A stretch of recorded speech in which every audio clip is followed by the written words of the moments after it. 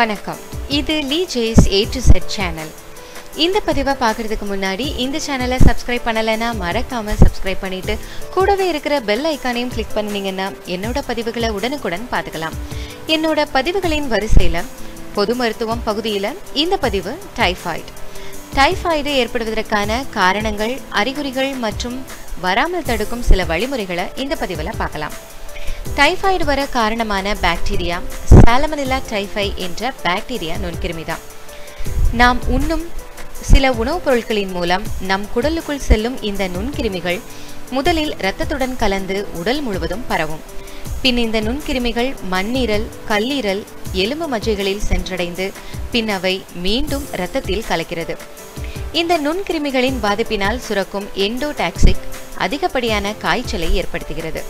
இதனால் கல்லீரல் மண்ணீரலில் வீக்கம் ஏற்படுவதுடன் இரத்தத்தில் உள்ள வெள்ளை அணுக்களும் குறைந்து போகுது. மேலும் குடலில் புண்கள் ஏற்பட்டு இரத்தப்போக்கு ஏற்படும் வாய்ப்பும் ஏற்படுது. டைஃபாய்டு நோயின் அறிகுறிகளா தாங்க முடியாத தலைவலியும் அதிகமான காய்ச்சலும் தொடக்கத்தில் மலச்சிக்கல் இருந்து பின் அவை வயிற்றுப்போக்காக மாறிவிடவும் வாய்ப்பிருக்கு. மேலும் அதிகப்படியான உடல் சோர்வும் டைஃபாய்டு நோயின் அறிகுறிகளாக இருக்கு.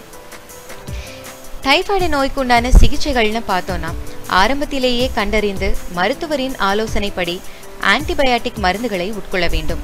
இதன் மூலம் நோயாளியின் உடலிலிருந்து மலம் சிறுநீர் வழியாக பல கோடி கிருமிகள் வெளியேற்றப்படுது. மேலும் மருத்துவரின் ஆலோசனைப்படி டைஃபாய்டு தடுப்பூசிகளை போட்டுக்கொள்வதன் மூலம் மூன்று வருடங்களுக்கு டைஃபாய்டு வராமல் தடுக்கலாம். டைஃபாய்டு நோய் வராமல் தடுக்க சில வழிமுறைகளும் இருக்குது இந்த நோய் பரவ ஈக்கள் பெரிதும் காரணம் என்பதால் உணவு பண்டங்களை மூடி வைத்து உண்ணுவதன் மூலமும் தண்ணீரை கொதிக்க வைத்து பயன்படுத்துவதன் மூலமும் வராமல் தடுக்கலாம். முக்கியமாக குளிர்சாதன பெட்டியிலும் டைபாய்டு நுண்கிருமிகள் உயிர் வாழும் தன்மையுடையதால் பழைய ஐஸ்கிரீம் பழைய உணவு பண்டங்களை சாப்பிடுவதை தவிர்ப்பதன் மூலமும் வராமல் தடுக்கலாம். டைபாய்டு நோய்க்கு தொடக்கத்திலேயே மருத்துவரின் ஆலோசனைப்படி சிகிச்சைகள் எடுத்துக்கொள்வதன் மூலம் இந்த நோயால் ஏற்படும் ஜன்னி பல்வேறு உடல் பாதிப்புகள் மற்றும் மூளை பாதிப்பையும் வராமல் தடுக்கலாம். மேலும் உங்களுக்கு வேறு ஏதாவது மருத்துவ தகவல்கள் தெரிஞ்சுக்கணும்னா கீழே இருக்கிற கமெண்ட் பாக்ஸில் கமெண்ட் பண்ணிங்கன்னா என்னோட அடுத்தடுத்த பதிவுகளில் அதை நான் பதிவிடுறேன்.